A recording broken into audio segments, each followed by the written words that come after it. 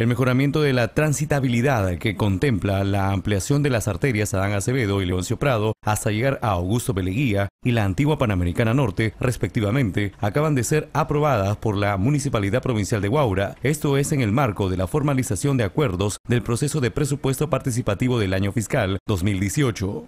El 15 se ha aprobado 5 millones de soles que, comprenden 7 proyectos.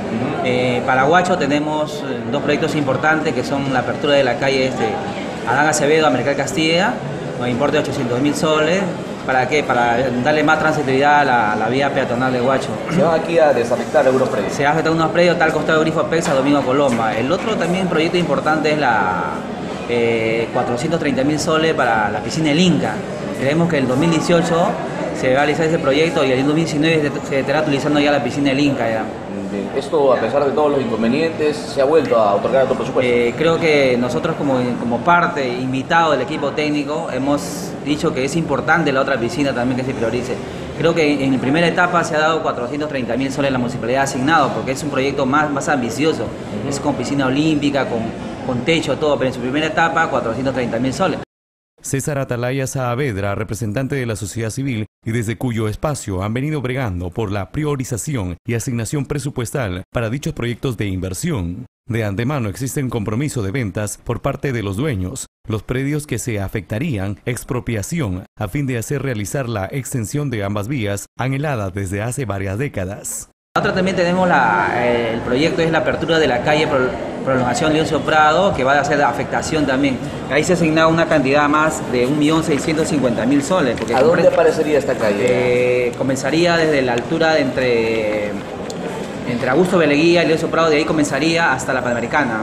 Ese cruce eh, afectaría varios predios. Ahí, ahí el monte es más elevado. O sea, de Leoncio Prado tendríamos al fin la salida hasta Panamericana. A la Panamericana, 1.650.000 soles salida de ese proyecto costaría. ¿Cuántos predios son aquí? Eh, ahí, ahí son dos cuadras, creo que sería dos cuadras. Es, es, más elevado que el domingo que le dan a Acevedo.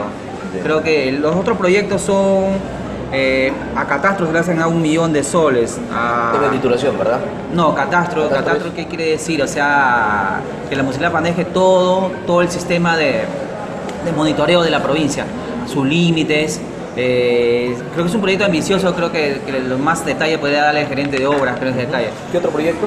el otro proyecto es la Ah, se ha, asignado al distrito de Ámbara 700 mil soles para agua alcantarillado de agua potable en el distrito en, el centro poblado de Inaca. Creo que ya que sus autoridades no estuvieron presentes en el presupuesto operativo en los talleres, eh, el, equipo, el equipo técnico, los agentes decidieron apoyar a AMBA, ya que, ya que la provincia ha, este, invertido medio dinero de todos los distritos en Ámbar, ha invertido casi 400 mil.